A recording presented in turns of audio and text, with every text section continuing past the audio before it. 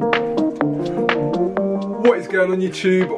Welcome back to your clothing guide, the Hoxton Trend Peeps! Right guys, in this video what I'm going to be doing is a monthly designer collection video because as per usual, I've had tons of stuff in. For the past three weeks I've been super busy. If you've been following me on Facebook, you would know exactly what happened, but I've just been mad crazy busy. But I'm back into it and we're going to be doing way more videos for you guys, so make sure you stay tuned for it, okay? Remember, if you're liking these videos, don't forget to like, don't forget to subscribe, don't forget to share. It really helps, and don't forget to trick that algorithm and make people think that people actually like these videos. Go ahead and drop a comment on the comments box below and leave a message, and I will make sure to respond to as many people as possible, okay? Also, remember, guys, if you ever need help with anything, any questions or anything like that, you can always jump onto our Facebook group community where we got 9.1 thousand members in there, all helping each other out. It's a big community. You can buy, sell, connect with people, ask questions, all the good stuff, okay? But let's get into this monthly designer collection video.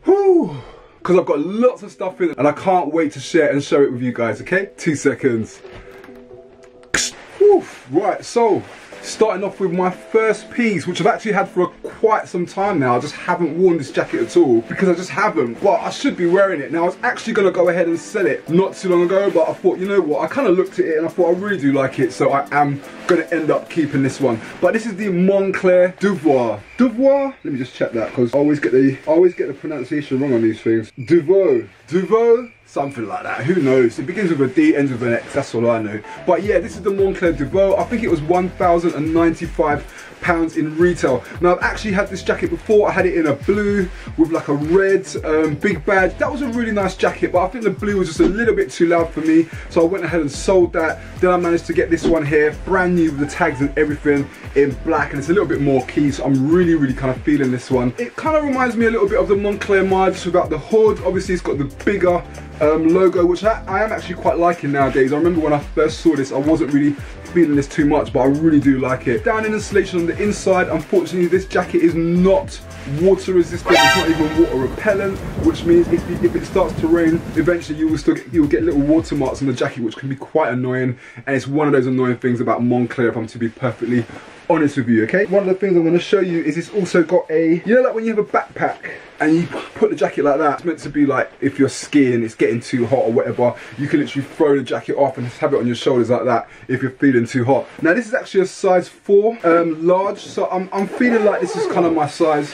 So that's the first one, is the Moncler Devaux. Devaux, Devaux, something like that. Right, so the next jacket I wanted to show you is this Stone Island wool blazer jacket from Stone Island. Now this is quite a rare jacket. It's called the Panno Speciale jacket or Special jacket. Is super nice. It, it, actually just kind of reminds me of old school Stone Island, if I'm to be honest with you. It's got that kind of real old school type of touch. And then what I love as well is obviously the detail there. You got a little bit of detail going all throughout the collar, which is really nice. And it makes it a really kind of special and unique jacket. And I'm pretty fortunate to be able to have one. So yeah, this is really quite a nice uh, piece there from Stone Island. Um, inside is looking all nice and it's made from 100% um, wool. Yeah, pretty dope. This is actually a size extra large. Funny enough, this one is fitting me pretty well. So yeah, I think this one is not too bad. Not too bad at all. Right, let's move on to the next one.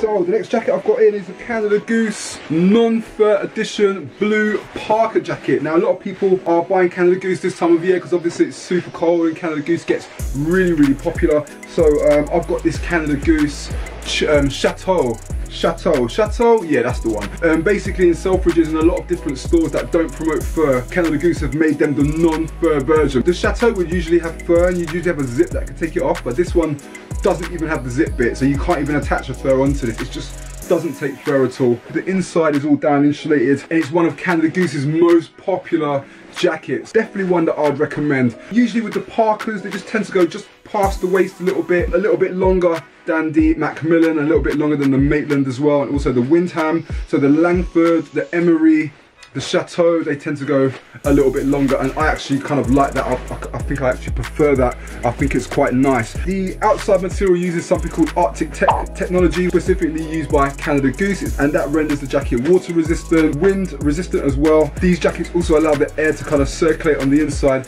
and that kind of helps to keep you warm. So these are really, really made for like extreme temperatures. Now you can use them like running around in the city, but just bear in mind, just gotta be careful because these can get pretty hot pretty quick, okay? Now, just to mention also that Canada Goose prices, they go up every single year, so pricing is getting more and more expensive. Their jackets are really starting to creep more towards the thousand pound mark. I think the jackets are quite expensive. Yes, I still do think they're worth the investment because they tend to hold their value pretty well. The second-hand market for Stone Up for Canada Goose is holding up really, really well as well. So if, if I bought this for like, let's say 800 next year if you kept all the bags and all the receipts and looked after it and make sure you dry clean it and store it well you probably set fetch like 650 for this jacket so that's 350 in a year.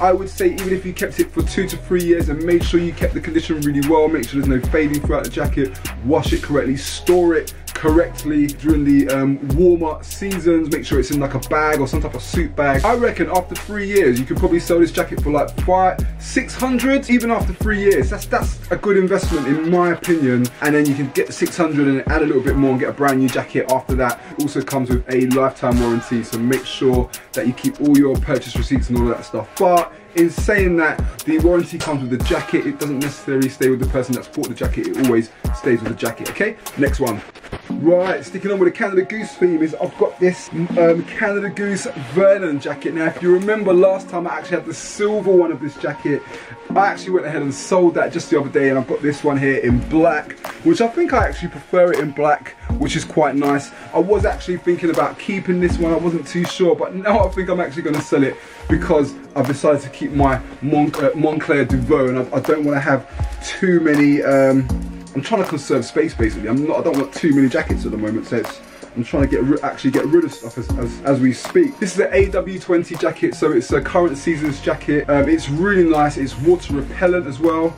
It's really nice, feels really good, very, very puffy. It's also black label edition, which means that the inside got this kind of special black material. I actually need to find out more. I actually need to find out more about the black label edition, but what I do know is the inside has always got this kind of black material on the inside, which I'm not sure what that is, and it's always got the darker shade of the badge, which I think is quite nice and quite a nice touch. But yeah, this retails at 895. Is it 895 or 850, which is very, very expensive. I, I wouldn't opt for this over the Parka if I was gonna get it brand new. I would actually go for the Parka because I think the Parka has a more robust material than this one. The material is nice on this, but um, I feel like it's not going to be as water resistant as the actual um, Canada Goose uh, Parkas with the Arctic Tech, like I just showed you on the on the um, Canada Goose um, Chateau jacket. The material on that I think is more better built for um, winter and like kind of harsh weather conditions. Where I feel this one is a little bit more of a city jacket. It is going to keep you warm, but it's probably a bit more practical for the city to run around X, Y, Z. And another thing that I like about this is it also has the same thing as the um, Moncler. It's got a throwback strap, so you can literally just throw the jacket back. There you go. You can literally just throw the jacket back and it just hangs off your back like that. If you're feeling too, too hot, you just flick it off and then once you're all good and you've kind of cooled down, you just flick your arms back in and, well, meant to be smoother than that. But yeah, you flick your arms back in and you're kind of good to go and set all again. Yeah, you don't want to be looking as awkward as this when you're trying it though. Yeah, yeah. You know what I mean. Oof, that was a struggle. That's just made me feel proper hot now. But yeah, that's it. That's the Vernon, guys. Proper nice one, this one.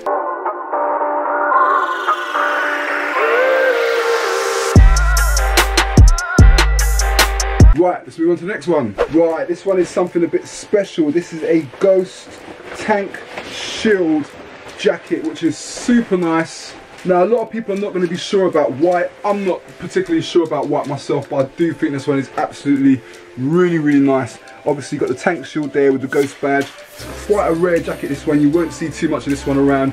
On the inside, you've got a nice removable vest um, vest gilet there with some Dutch rope that will keep it all attached together. So it's nice to see a little bit of Dutch rope. That's the old school way of Stone Island attaching um, the vest onto the jacket. So, so you can just wear this as a shell as well. The shell on the inside is also down insulated, so it is, it is quite a warm jacket. But this jacket should be yeah, it's got tape seam, so it's being a tank shield, it's 100% waterproof as well. So it's a pretty special piece, this one. Not many of these around, so yeah, very, very, very, very lucky to get this one, and I'm, I'm kind of chuffed on this one, I guess. Right, so here we go. I've got this monster piece in right here.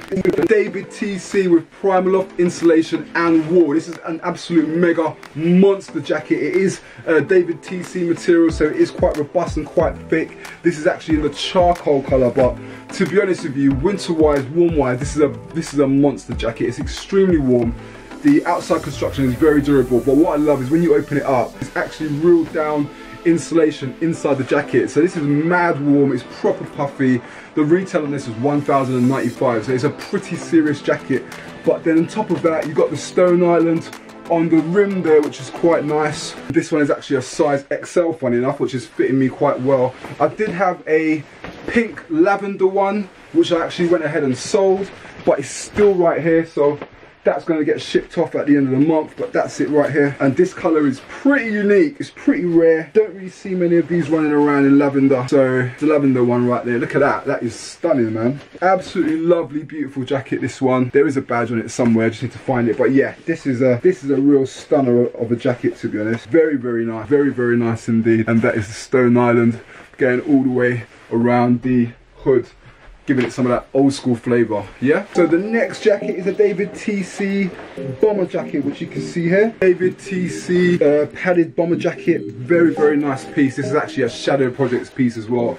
So you've got the shadow projects badge which you can see on the side there super nice very very warm but you can see there's got some distressing or like the, the, the, way they've dyed it it looks a little bit distressed. So it's almost it almost looks a bit like concrete if, if, if you get what I'm saying but this is a really really nice piece. So this would be kind of great for more like autumn or kind of like the end like the beginning of spring as well when it's still a little bit cold this is like a nice low-key um, padded bomber jacket with the Shadow Projects badge right there. But yeah, this is actually extra large it's actually fitting me um, fitting me quite well. But yeah, this is a nice jacket. Right, so the next piece that I've got in is this cotton velvet reverse lamy flock uh, smock style jacket. This one is, I think this jacket is absolutely crazy. Now it might not be for everyone's taste, not everyone might feel this one. It almost reminds me of the Quantum Pertex Y jacket, except the Quantum Pertex had like a Y zip getting all the way across but this one literally has to go over your head like a like a kind of like a hoodie I guess but it's super warm you've got this nice kind of velvet material on the outside got some really nice material here which almost reminds me of a mem membrana um, 3LTC material, but I'm not quite sure that it is.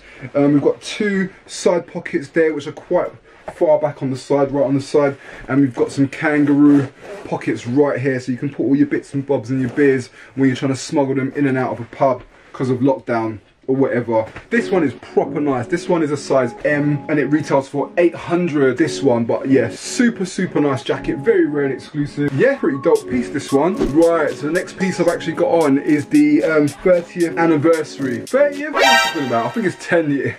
I think it's the 10 year anniversary uh, Polyhide 2L windproof water resistant breathable 2L fabric bomber jacket. now this jacket is it's, it's, actually a bit of a collector's this one. It's a very special piece. As far as I'm aware it represents the 10 year anniversary of the collaboration between Acronym and Stone Island which is the Shadow Project. Now ironically enough this one didn't come with the Shadow Projects bag so I actually got this one for a little bit of a crazy price. Got a few Shadow Projects badges but they, they're obviously with the other items so I can swap them around but I might go on our Facebook group and see if I can get someone to sell me one or donate one or whatever it is that goes on on there. But yeah, check out the back.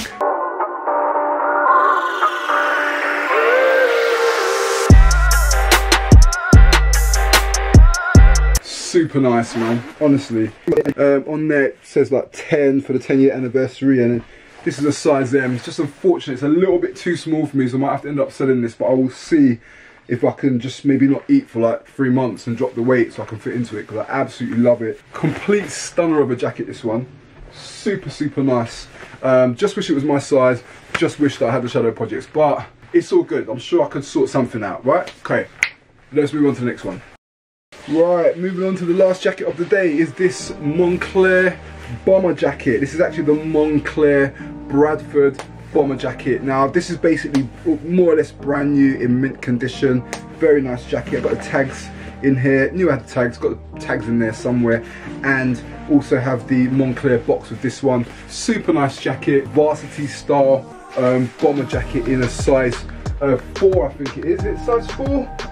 Think it's size four. Yeah, got that varsity collar, so it reminds me of that kind of American style um, varsity jacket, which is really cool. And obviously the down insulation on it is, is, is nice as well, so it is keeping me warm.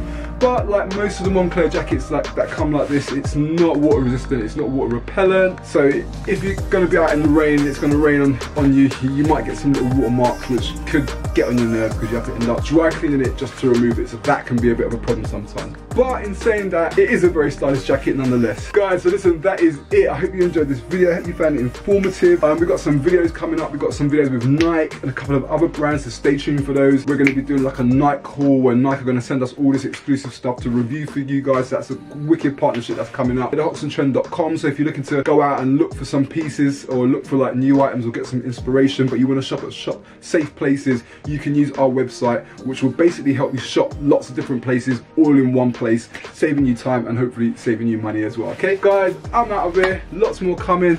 Stay tuned for it. Peace out.